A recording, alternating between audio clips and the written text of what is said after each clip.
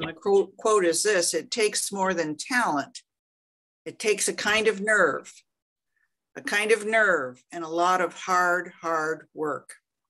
And I love that quote because it basically tells women you don't have to be particularly talented. And we sure know how to work hard.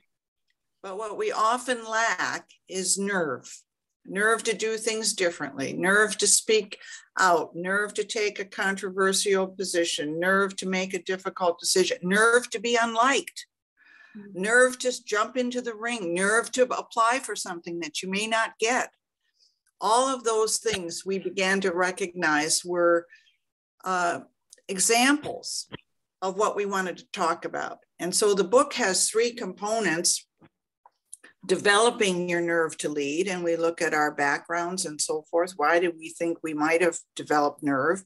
The second is leading with nerve, which is probably where most of you are.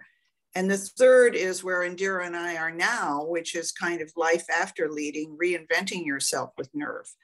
But the reason, Bente, we picked that was because we think it really reflects the issue that women have to start thinking about um, and grappling with.